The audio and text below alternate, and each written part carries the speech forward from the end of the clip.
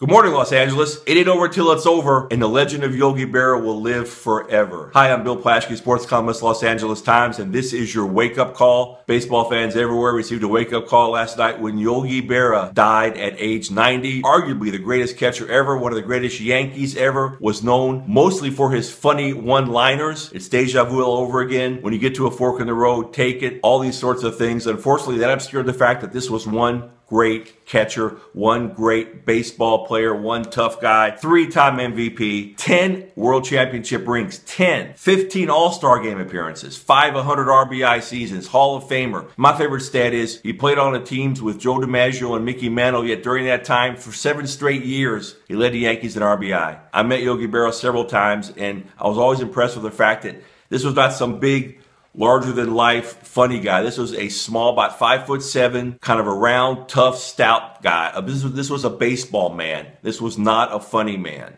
And I think I think anything toward the end, he thought people would forget about what a great baseball player he was and just think he was a humorist. No, he was a great baseball player. He was epitomized by when he caught the final out of Don Larsen's perfect game in the 1956 World Series. If you watch the video, he runs to the mound and jumps in Larsen's arms like every catcher does. But Yogi Berra does not take off his mask, leaves his mask on.